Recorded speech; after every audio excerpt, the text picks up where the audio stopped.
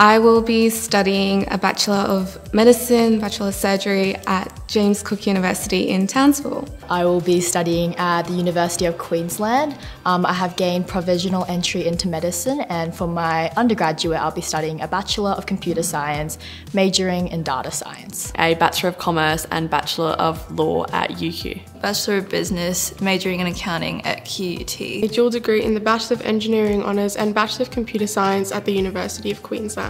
A Bachelor of International Design, majoring in Industrial Design at QUT. I'm going to be going to Central Queensland University and studying a Bachelor of Chiropractic Science. A Bachelor of Fine Arts Acting at QUT. A Bachelor of Journalism and Communications at the University of Queensland. A Bachelor of Psychological Science at the University of Queensland. I'll be studying radiography and medical imaging at Monash University. A Bachelor of Biomedical Science with provisional entry to the Doctor of Medicine uh, at UQ. A Bachelor of Biomedical Sciences at Griffith University University on the Gold Coast.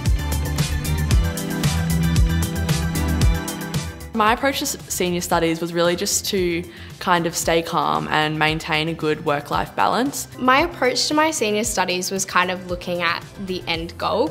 Um, and what I wanted to achieve. To go into every exam knowing that I had done everything I could and I had tried my best. I found it really helpful to have study books where I summarised the contents in my own words. My approach to my senior studies was to study hard and know that no matter the outcome, I did my absolute best.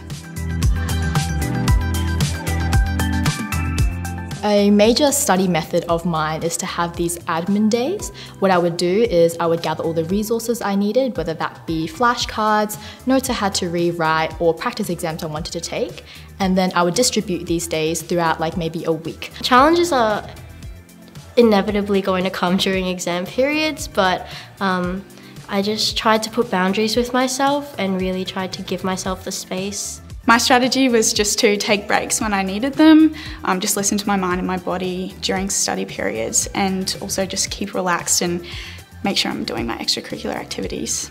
I definitely took on a positive attitude towards my exams and doing my best in the given time.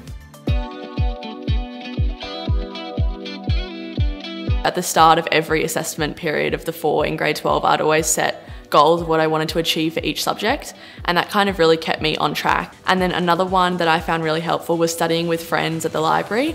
Teaching my friends and helping them understand the content. I would have quizzes that I would make for myself, and there were also a few um, St. Aidan's graduates in the year above that would also have their resources that would be very helpful to use as well. I found study books really helpful especially with subjects where there's a lot of things to memorize. And it definitely helped me with not just my understanding, but for exam revisions as well. The most useful study technique for me would be active recall through the form of flashcards. Handing in my study book was a technique I found really helpful for my math subjects and also making sure I checked in with my teacher. The memories for sure for the past seven years being a part of this community. It's been absolutely wonderful. It's been such a joy and pleasure to be a part of the school. I think what really stood out to me as a high school, St. Aidan's offered this really small community which I felt really proud to tell other students from other schools that I knew everybody here. The fact that anybody can, can do anything. And if everyone is a genius in their own way, and until you open your mind to that thought, then you're just going to miss out on the most beautiful things in life. Probably problem solving skills. I think that um, particularly in my digital solutions class, like it really taught me how to problem solve and how to um, perfect things to the best of my ability. And then the processes that I learned in that class kind of got transferred into every other one of my subjects. Their community and culture, which is very, very welcoming and very supportive, um, not just academically, but in other areas as well. The most important thing I'll be taking away from my time at St Aidan's is the importance of having a good community surrounding you.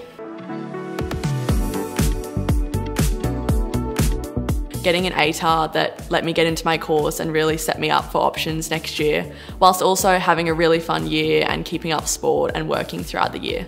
An achievement in my schooling that I'm proud of is probably my English grades because I worked very hard to get them up. The Australian Institute of Physics Award that I received towards the end of grade 12. I think my greatest achievement was leaving school with absolutely no regrets. Just the growth I've had over my high school years definitely was definitely my biggest achievement. Having a really fun and successful tennis season. It's definitely my first academic award in grade 9. When I got prefect, I was really happy because that's a role I really enjoyed. On the academic side, I had my teachers who were there always ready to answer questions and to provide me with extra resources when I was annoyingly badgering them for extra practice exams or things like that. Um, additionally, I think for me and for everyone out there, it's really important to acknowledge our parents. My biggest supporters in my academic studies would be my family and my teachers. My teachers, for sure, um, in going to class, they would always tell us um, what we needed to do and what steps we needed to take in order to achieve our particular goals. My family were very big in supporting me and also my friends and my teachers. Of course, my parents, my friends, my teachers, I was very blessed with a beautiful school community to come to every day. My advice to younger students will be to get involved in everything that St has to offer. Is don't be afraid to overachieve. I believe setting yourself up to those higher goals and higher standards will really push yourselves to um, give in your best. Use your teachers, they are there to help you. Pace yourselves and really make sure that you're focusing also on yourself as well as your academics. So my advice to younger students would be to do things that you actually like. So subjects wise, don't let other people, you know, persuade you to do other things and don't follow just what your friends are doing. Do something that you actually enjoy because um, you'll find that you're more motivated to study and prepare for the subjects that you actually like. At, at the end of the day, grades, whilst they seem really big in high school, aren't going to define you. And so just making sure you make the most of your high school experience without getting too burdened by the academics and the workload and things like that. My message is to make sure you are very diligent with your studies, but also listen to yourself. If you're needing a break, go and play your sport or watch an episode of your favourite show. Just look after yourself.